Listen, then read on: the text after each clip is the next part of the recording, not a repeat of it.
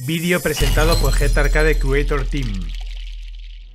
Muy buenas chavales, bienvenidos. Llega el ajuste final de Alon de los Camas. Llega un ajuste, llega un bufeo. No sé qué deciros, al final del vídeo os diré si está roto o no está roto, pero cambian varias de sus habilidades. Y aparte de eso, viene un rework para la diosa Artemisa. Artemisa, ¿dónde estás Artemisa? Que te localice. Viene un reward Artemisa previo a su renacida, ¿vale? Este reward está aparte de su renacida, ¿vale? O sea que creo que mm, Tencent empieza a hacer ajustes en, unidades, ¿vale? Tanto antiguas como más modernitas, por lo que mmm, los cambios son buenos, ¿vale? Es un cambio free to play, ¿vale? Es un cambio para todos, le tengamos o no la tengamos renacida a la buena de Artemisa, que habrá que ver cuánto tarda en llegarnos a la versión global, pero que va a estar activo a la versión china desde este mismo miércoles que se actualiza. Así que vamos a verlo todo, ¿vale? Lo primero os pido que abajo os deis al botón para suscribiros la campanita para que activéis las notificaciones, no esperéis nada del contenido. Y gracias a esos miembros cardíacos por apoyar con vuestra membresía. Chavales, poneros cómodos que empezamos.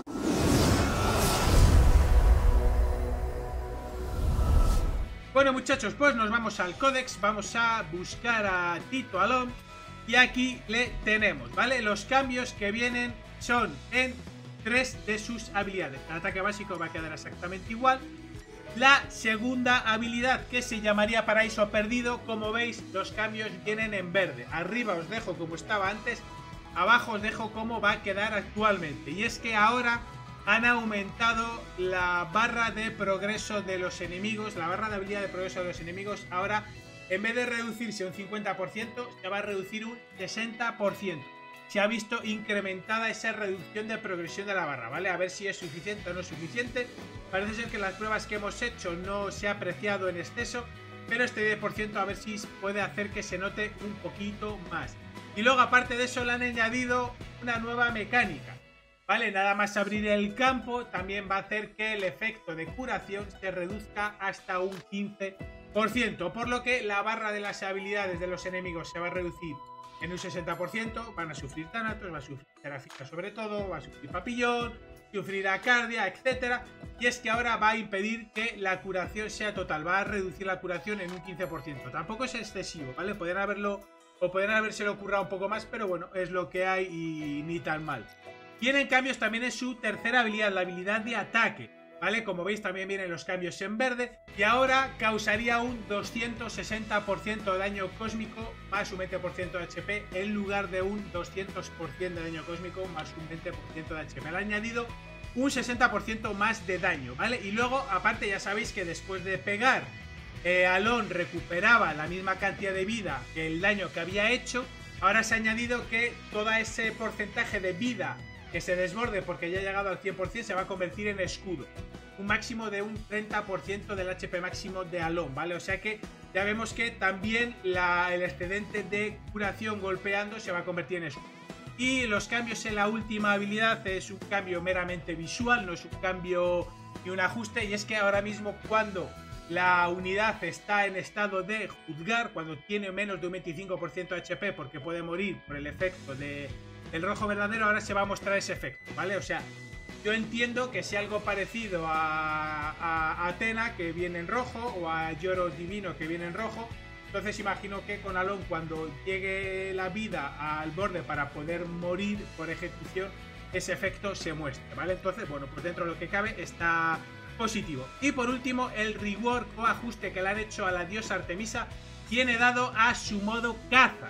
¿Vale? Viene dado a su modo caza, ya sabéis que cuando activamos el modo caza nos da lugar a elegir una unidad para reducirle el consumo de energía, ¿vale? En dos puntos, pero la siguiente ronda tenía una penalización de que el consumo de energía se incrementaba en tres puntos y tenía una reducción de resistencia a estado. Ahora esa penalización en la siguiente ronda se ha eliminado. ¿Vale? Se ha eliminado, ya no va a haber penalización cuando usamos el modo caza en el siguiente movimiento de nuestro aliado y tampoco tiene esta penalización de la resistencia de estado, por lo que es un reward que viene aparte de su renacida, ¿vale? Al menos así lo entiendo yo, porque en, las notas de actualización de servidor de prueba no está puesto que venga la renacida de Artemisa, ¿vale? Así que ahí vemos las dos cositas nuevas, los dos cambios que han tenido lugar. Por un lado, el ajuste final a LOL y por otro lado el reward de Artemisa. Por su parte, el ajuste final de Alon, bajo mi punto de vista, creo que va a ser suficiente. Bajo mi punto de vista, creo que la reducción de barra de la habilidad un 10% más, pasar de 50 a 60, creo que no se aprecia mucho.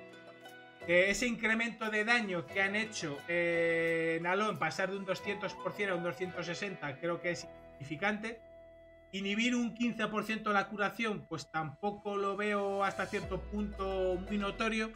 Y lo de la última habilidad, lo del juzgar, que se muestre o se visualice, pues la verdad es que creo que está bien.